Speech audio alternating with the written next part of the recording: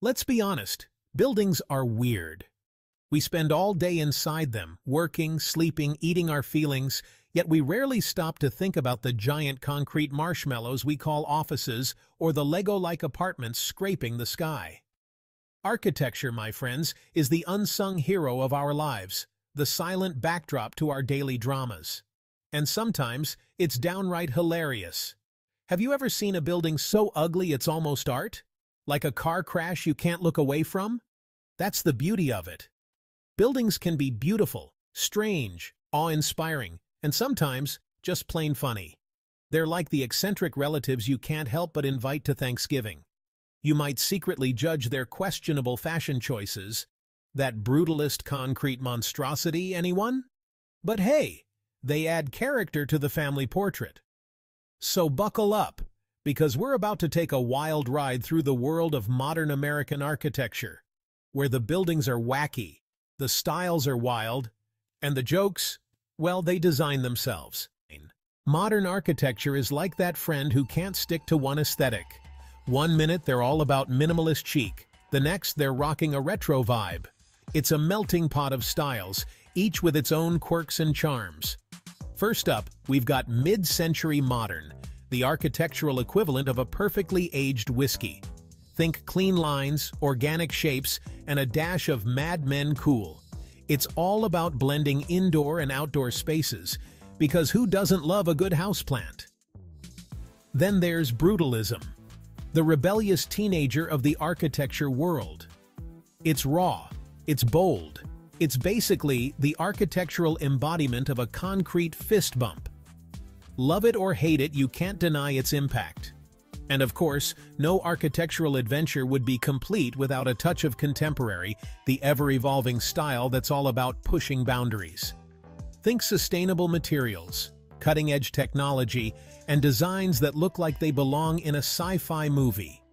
It's like architecture is trying to one-up itself, constantly coming up with new and exciting ways to make us go, wait, how did they even build that?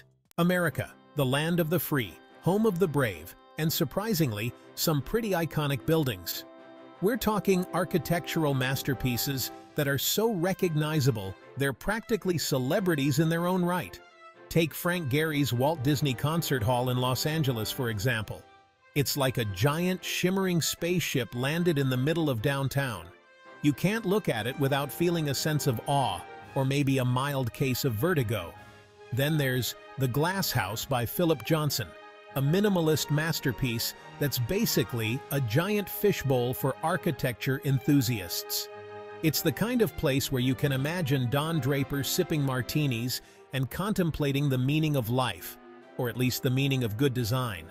And let's not forget about Falling Water, Frank Lloyd Wright's masterpiece that seems to defy gravity itself. It's like a waterfall decided to take up architecture, and honestly, we're not mad about it. These buildings aren't just pretty faces. They represent the very soul of American architecture. They're bold, they're innovative, and they prove that even in a country obsessed with practicality, we still have a soft spot for buildings that make us go, wow.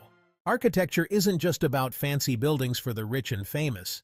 It's about the spaces we inhabit every day. From the cozy coffee shops where we get our caffeine fix to the sprawling libraries where we get lost in a good book. Think about it. The way a building is designed can affect your mood, your productivity, even your social life. Ever walked into a room with floor-to-ceiling windows and felt your stress melt away? That's the power of good design, baby. But it's not all sunshine and roses. Bad architecture can be a real downer. That cramped, fluorescent-lit office cubicle? Yeah, that's not doing your mental health any favors. And don't even get me started on those confusing airport terminals that feel like they were designed by a Rubik's Cube enthusiast. The point is, architecture matters. It shapes our experiences, influences our emotions, and reminds us that even in a world obsessed with technology, there's still beauty to be found in the built environment.